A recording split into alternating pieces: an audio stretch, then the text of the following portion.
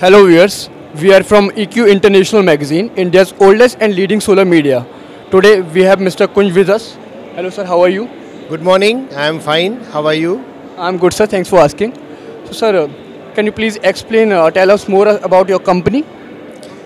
Uh, Zodiac Energy Limited is a 32 year old uh, energy solution provider based at Ahmedabad, Gujarat, uh, India. Uh, we are into renewable energy solutions like solar and uh, solar thermal. And apart from that we are into diesel generators gas engine based power plants and cogeneration power plants. Uh, mainly our main focus today is on solar because solar is the upcoming uh, uh energy source.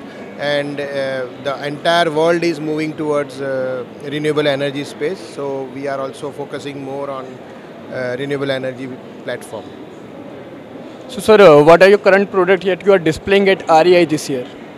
Uh, we are not, we are a EPC company, we are not displaying our product, but uh, I am glad that REI has become a, a big uh, uh, showcase for uh, product development and product introduction. And REI has also become a good networking event as all the members from industry are gathering here for these three days and exchanging their ideas and uh, notes. So, sir, is there any upcoming product that you are going to launch or an upcoming event like? So we are uh, we are uh, we are based at Ahmedabad, Gujarat, and uh, just as yesterday, Gujarat government announced renewable energy policy 2023, and it is very pragmatic and uh, forward-looking policy, very industry friendly and uh, I'm sure by this policy Gujarat Industries will achieve net zero status very soon before the date committed date of, by our Honorable Prime Minister Shri Narendra Modi ji and uh, also uh, renewable energy will be the main driving force in Gujarat Industries. So sir, uh, is there any expansion or distribution plans so we are now uh, working, we have started working pan India. We have now opened our office in Lucknow, Uttar Pradesh and uh, opening another office in Pune, Maharashtra.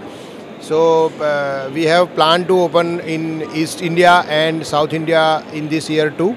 So we now, uh, with our experience with Gujarat, Gujarat is a front runner in renewable energy in India. So we, as with an experience in Gujarat, now we want to cover the pan-India market and soon Zodiac Energy Limited will uh, be seen across the nation. Thank you. Thank you so much, sir. Thank you for being with us.